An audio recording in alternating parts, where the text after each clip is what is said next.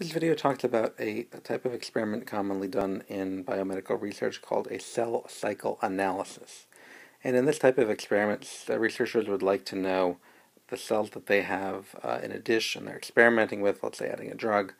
Um, are these cells normally progressing through the cell cycle, G1, S, G2M, or are they arrested um, at a certain phase of the cell cycle? And we'll talk later in the course about how um, cells can arrest in G1 or they can arrest in G2M.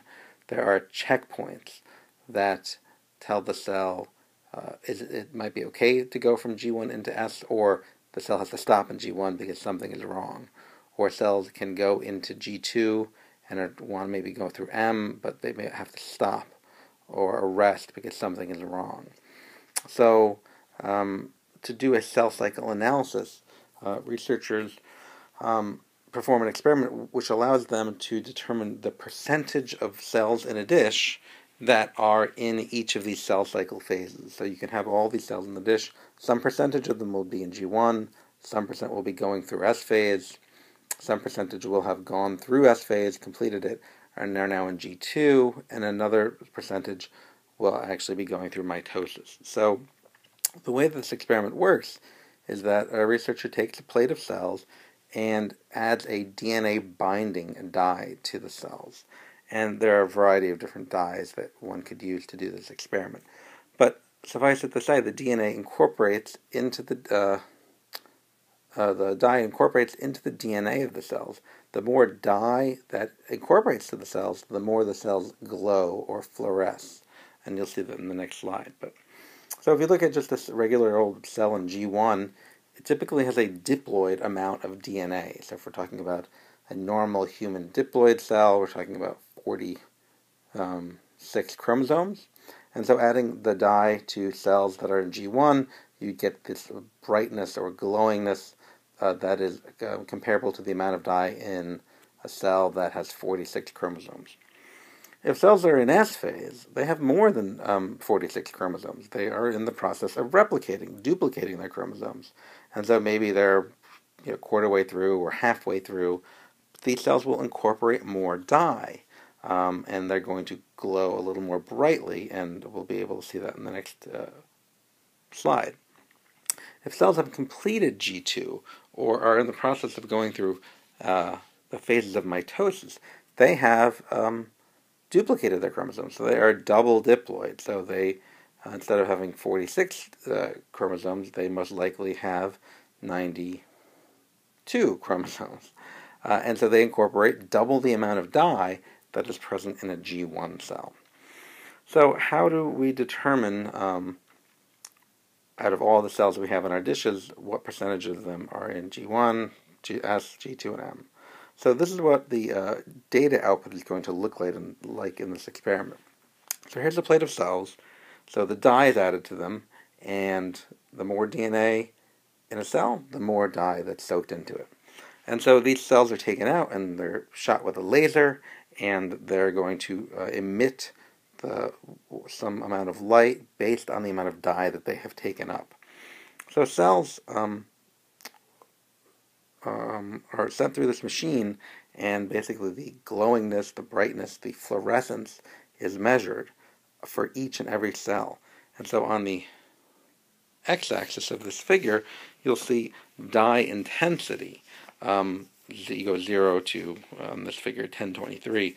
Um, the more you go, the higher on the x-axis, the brighter the intensity of the signal from the cell, which represents the amount of dye in the cell which represents the amount of DNA in the cell. So DNA content um, increases as you go along the x-axis.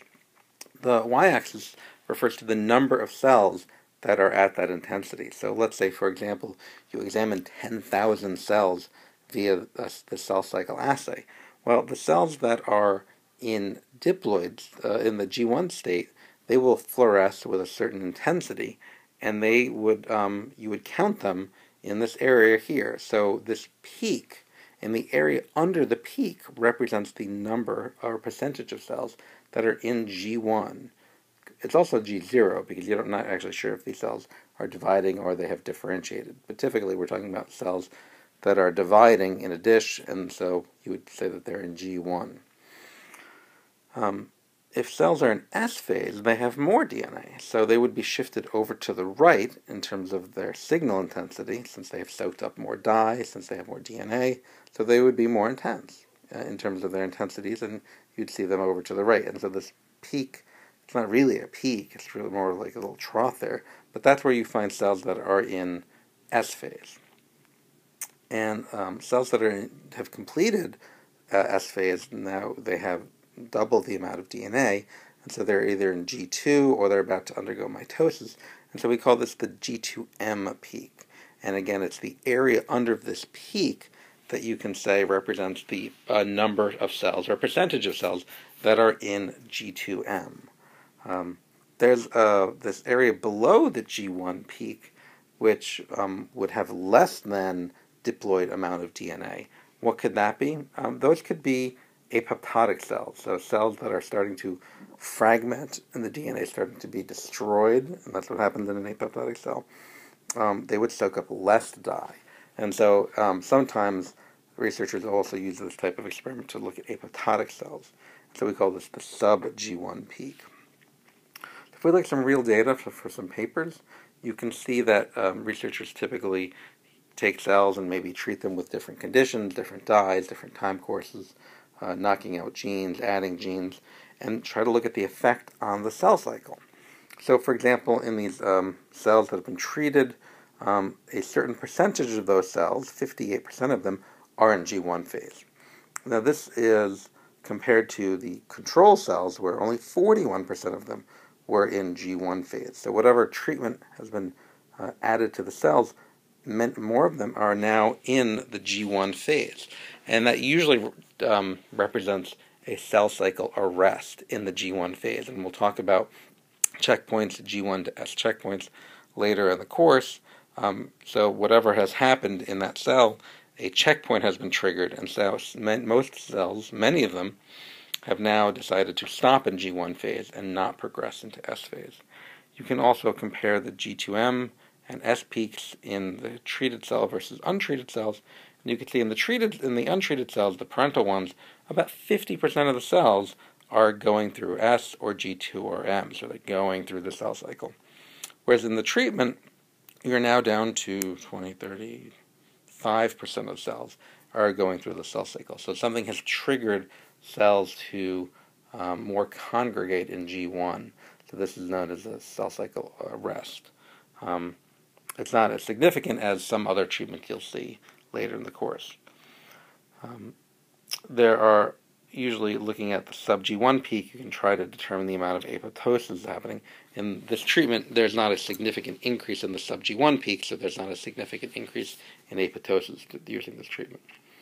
If you look on the right, there's another graphical representation of the data that's typically um, generated on the left. So sometimes they show you the raw data on the left with these peaks, and these peaks represent the number of cells uh, under the peak, you can determine the percentage of those uh, um, cells by looking at the area under the peak.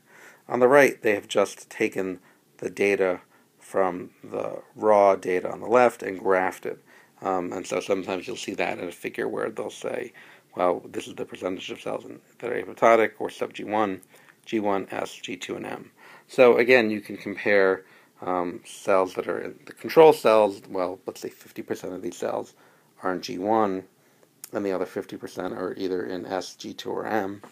Whereas increasing uh, concentrations of this drug um, seem to cause a decrease in the number of cells in S or G2M, so fewer cells are going through the cell cycle, and more cells are actually apoptotic in this treatment. Um, so those are the types of analyses that people do when they want to look at cell cycle. Um, this type, of, this is called a flow cytometry assay. That's another term for it, or um, a cell cycle analysis. So we'll see this um, in a couple papers uh, throughout the course.